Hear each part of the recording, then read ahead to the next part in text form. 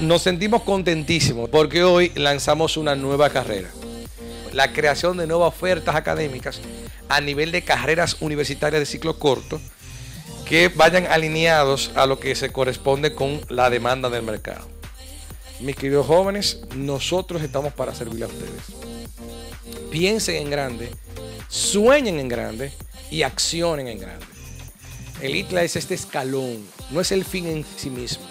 Métanle espacio a todo, métanle entusiasmo.